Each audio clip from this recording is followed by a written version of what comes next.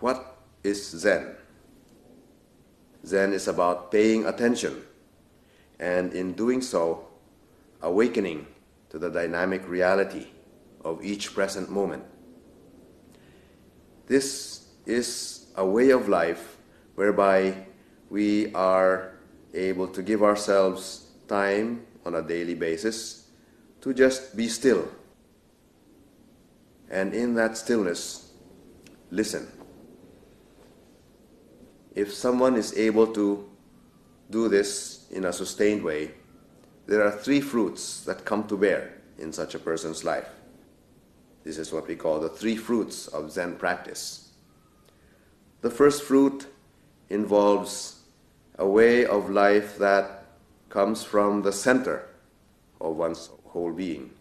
It is a way whereby one is able to live fully in the here and now.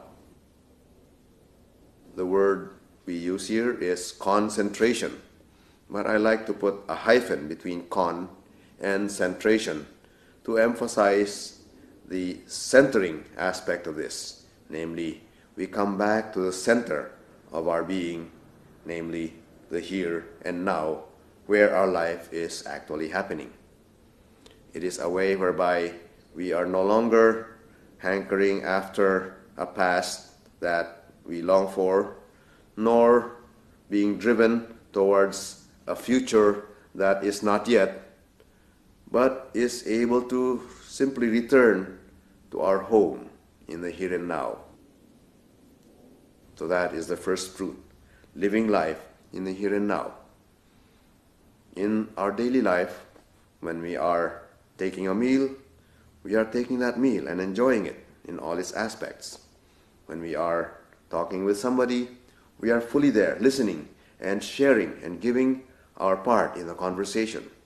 When we are washing dishes, we're simply washing dishes. When we're sweeping the floor, we're sweeping the floor.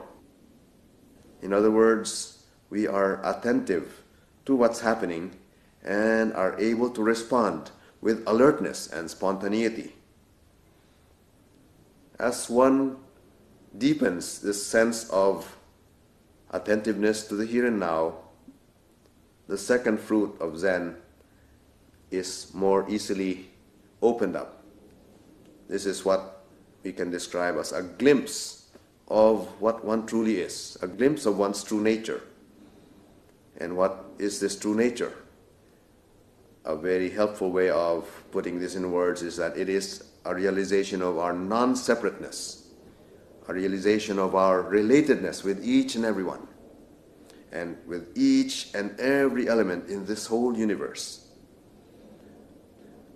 Let me give an example that strikes me at this point as an experience of this realization of interrelatedness and of non separateness. Thomas Merton talks about an experience of his when he was visiting the city of Louisville in Kentucky, standing on a busy street corner called Fourth and Walnut. There, just watching all the people pass by, all of a sudden, he writes in his journal, he came to a realization that he loved all these people and that they also were bound to him in that unconditional love that also enveloped his whole being and everyone else. That experience was a turning point in Merton's own life. Those who know the trajectory of Merton's life see that that glimpse of non separateness enabled him to really engage himself in the world, outpouring with love for the world in a way that's thought to transform the world toward its betterment. Another example that comes to me is that of my own teacher, Yamada Koun Roshi, who writes in his journal that he was on a train from Tokyo to his home in Kamakura, that's about an hour away. And around the middle of the train ride, he is reading a book by Zen Master Dogen of the 13th century Japan. And his eyes fall upon a passage that said, mind is no other than mountains and rivers, the great wide earth, the sun, the moon, the stars. And as his mind really saw through that passage, and as he realized what it was pointing to, he suddenly burst into laughter. And since it was a public place, there was his wife beside him sitting on the train, and there were other people. He tried to muffle that laughter and kept it to himself for a while. And that night, as he lay in bed, awake, all of a sudden it came to him again in a loud burst of laughter, realizing the mind is no other than mountains and rivers, the great wide earth, the sun, the moon, the stars. In other words, realizing that the mountains, the trees, the heavens, everyone on earth is no other than me. That's me. And they are I and I am them. In that realization, he saw through that separateness and realized precisely that we are one. That realization can come to us in other ways.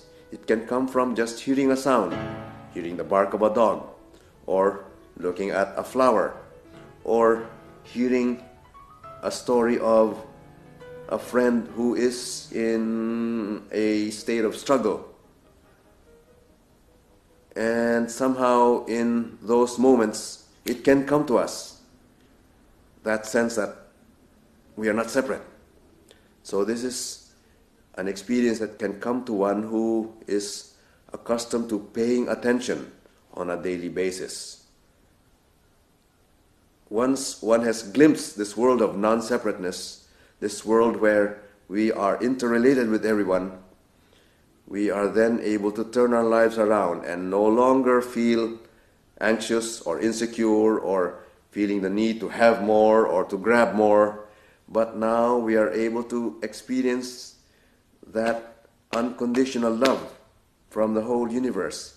And experiencing that unconditional love, we are now in a place of peace and that also empowers us to give back that love to each and everyone in the way we can relate to them in the most concrete ways from day to day.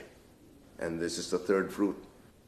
Then, in that context, we can really see how Zen is an experience of unlimited love, is something that can be activated on a day to day basis.